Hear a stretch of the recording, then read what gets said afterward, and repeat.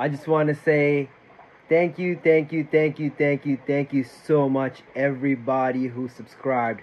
We're at 250 subscribers. It's actually 251 subscribers. I thought I'd have more time to make this video, but the last few just really just racked up.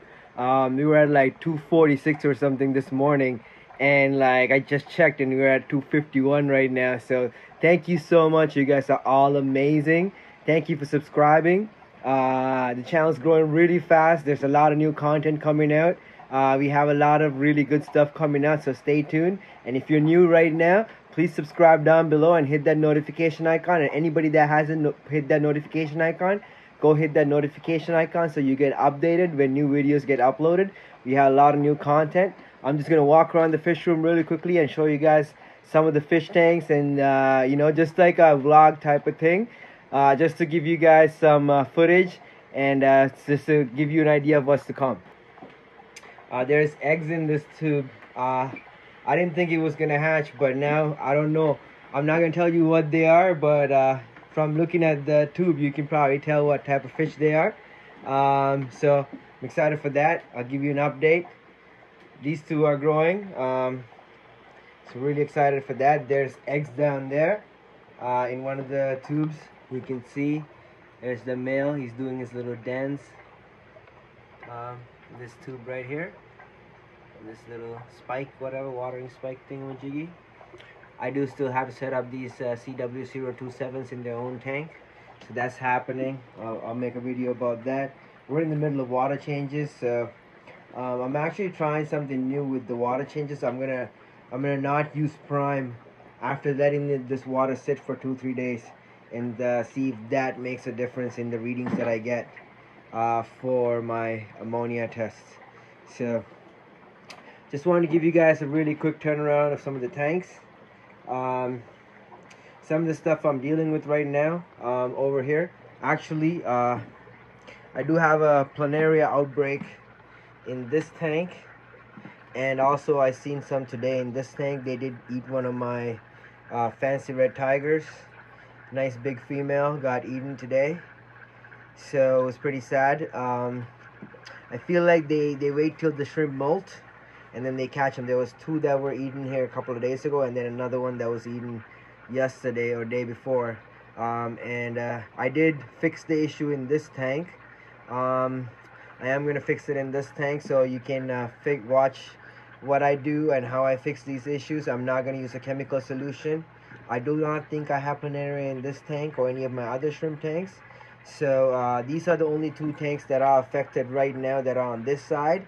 And also I know for sure there's planaria in this tank, um, which is the original tank that had the issue. Um, yeah, I did have it in this tank very briefly, which I got rid of. Uh, this tank cleared, I cleared it out, so there's nothing in there. Uh, you can see the planaria right there. See? See these little oh, I hate them. Uh, the thing with planaria is you can't really kill them. Uh, if you like squash it, it just becomes two.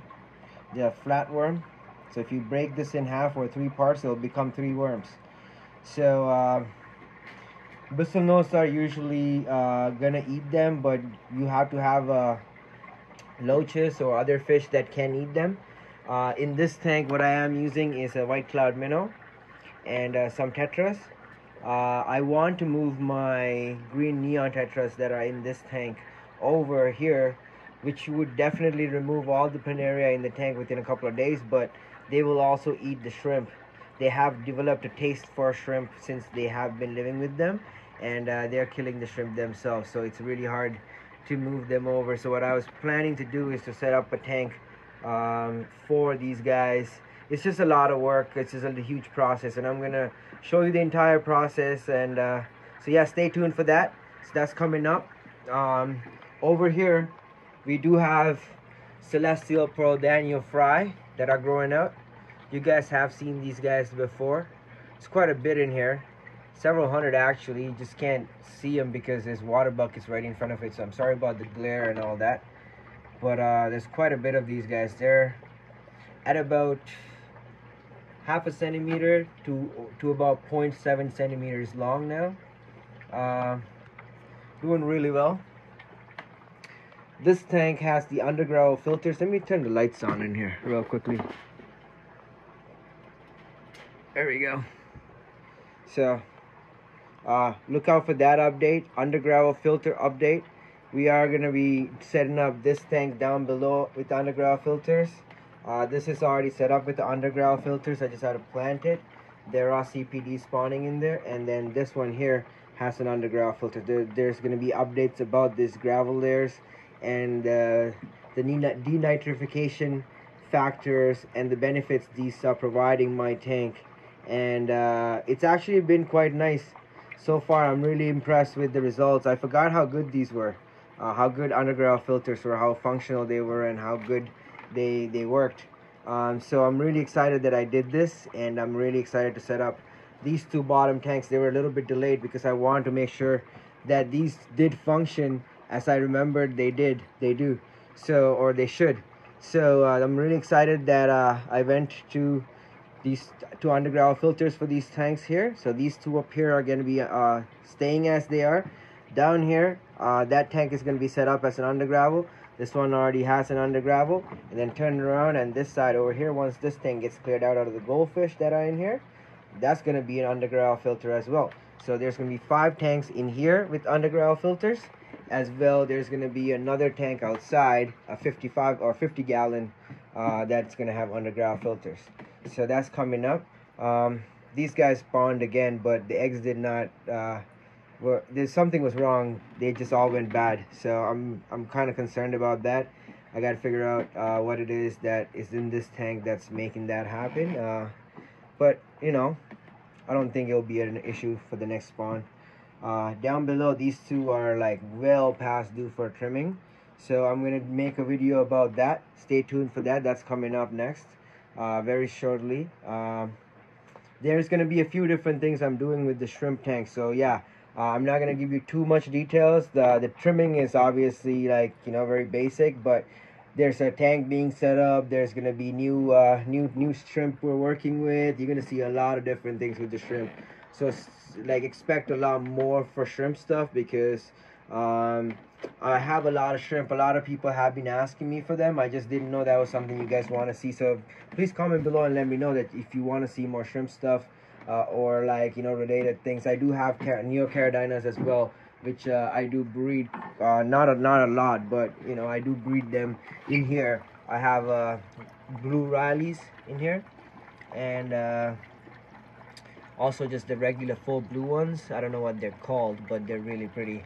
So, um, but I just never make videos about them because I didn't think anybody was interested in you know just basic shrimp. They were not that pretty, like. But anyways, uh, so many people have been asking so i am going to make more videos about the shrimp uh, as well as, you know more videos about breeding these guys here. Uh, oh yeah for breeding projects that's, that's that are coming up um i really like this tank or this box here. It's just moss. I'll show you guys how it looks from the top. I collected this from my rooftop uh, last summer end of summer. So around november or october I was on my roof. I collected that. Um, so breeding projects. We are breeding these uh, white cloud minnows. They should be coming out of here today or tomorrow because they're pretty much they have been spawning in here for the last 48 hours. Um, any longer than tomorrow, the eggs will start hatching. I'm pretty sure some of them are already gonna hatch tomorrow. So I'm gonna pull those out. Uh, Congo tetras have been in here for a few days now. They haven't laid eggs, so I'm kind of waiting for that to happen any minute. Um, the female, um, what do you call these? Rainbow shiners. I have seven females that are in here. They're plump. Look at them. They're nice and fat. So I just had to put the males in and I feel like when I do, they will spawn. I'm just giving them a separation time so that when the males go in, there's a guarantee of spawns. Uh, so this next couple of days, maybe tonight I'll put them in there. So that's coming up. Stay tuned for that. Um, let me show you guys the males real quickly. There are the males you remember these guys. Gorgy berries. They're really pretty. It's basically like a fish room tour now. You see most of the fish tanks now. Well not all of them but you didn't see, you did see quite a bit of them uh, as I walked around. Uh, so I hope you enjoyed that. If ever you know like I'm really happy the channel's growing really fast. It's doing really well. I'm really excited. Thank you so much again. You guys are all awesome. And if you haven't subscribed please subscribe down below. Be the 252nd or 253rd subscriber. And uh, look out for these videos. There you know look out for these guys being spawned. I was told that uh, there's not that many people that have spawned these. But being a North American fish and I, I being in North America and having water that is from a lake that these guys would probably be completely fine living in uh, I do not see any problem having to spawn these. And also that's another thing I am being very careful. Uh, look there's a lot of spawning activity already. Um, I'm being very careful um, as to uh, that not to release any of the water that are in these tanks into the, the sewer systems uh, before it, it, being stopped and decontaminated to make sure that none of these fry or eggs or anything gets released into our, our lake system. So that's something to consider if you are keeping any fish that could potentially survive in our, our natural ecosystems. You have to make sure you do not put any of the water from these tanks into the sewer system without decontaminate uh, basically boiling it or letting uh, another fish uh, like a goldfish tank go through it so that anything that's in here gets eaten out before um, you actually goldfish are not a good one either because goldfish are definitely invasive so you cannot make you have to make sure you don't put any water from goldfish tanks into sewers as well so these are things to consider uh, we should make a video about that um, so that's something I might actually make a video about. These guys have a clutch of eggs. There's four babies that hatched. You know, like, it happens. They're just getting back into spawning, so I'm not too worried about them. But they're exceptional parents, and I feel like they're gonna raise these four babies. So we'll try to make a video about that. There's eggs also on this side. Um, they are doing much, much better.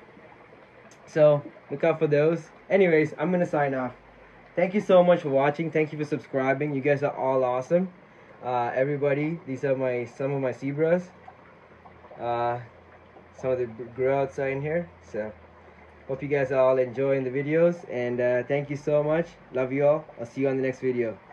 God bless